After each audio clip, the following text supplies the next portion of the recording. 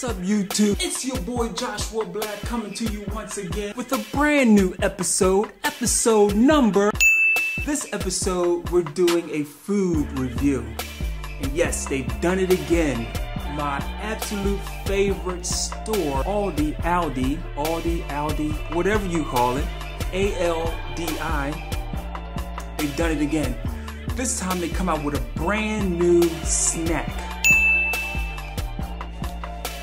Kale chips. Yes, kale chips. Now we all know the great benefits of kale, period. And if you're vegan for any sort of length of time, you've been exposed to kale. It's probably one of the first vegetables, green vegetables, that you start to incorporate into your vegan lifestyle.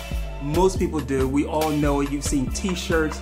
It's been the hot, sexy food, um, vegan food for a long time. As Aldi continues to um, um, stock even more healthy choices um, and compete head to head with the Whole Foods and with the Trader Joe's and the like, they are continuing to up their game. And this one, I'm really excited about. Because you know as vegans you know sometimes and i like to snack you know. And as vegans when you want that crunchy snack and you're not going to do potato chips because of the two things. Because they're fried which is no good for you. All the crazy oil um, and also the fact that and some of us just don't want to do the potatoes. Like i don't want to do potatoes i did a whole video on why i don't eat potatoes Check it out if you like. Please don't badge me with crazy comments. The potatoes are great. I'm not even gonna get into that right now.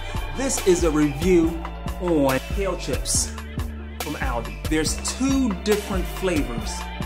There's original and then there's ranch. Before we even taste it, you know, before you even taste anything, you should definitely read what's in it. And I'm gonna go over that now. So, non-GMO, certified vegan, listed vegan right on the front, gluten free. Now the great thing about this, now this does have a little oil in it, and no, this is not a low sodium food for those who are concerned about sodium.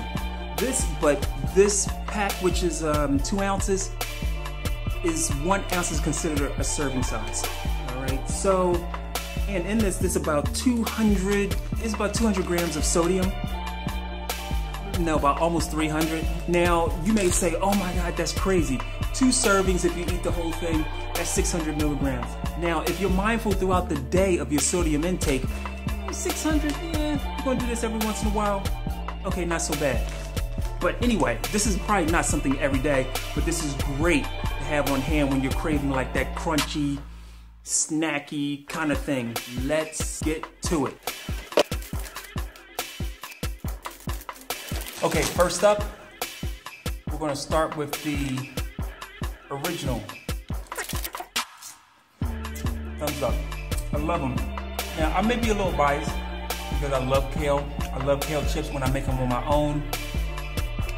This tastes, they, they, taste a little heavier opposed to when you like put your own in the oven.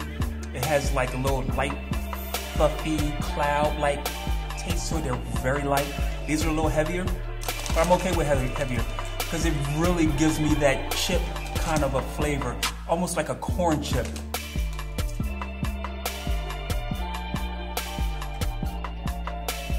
Really tasty.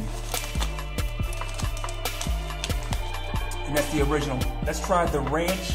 Now, once again, all vegan, gluten-free, about $3 and some change a bag. This is what they look like, look.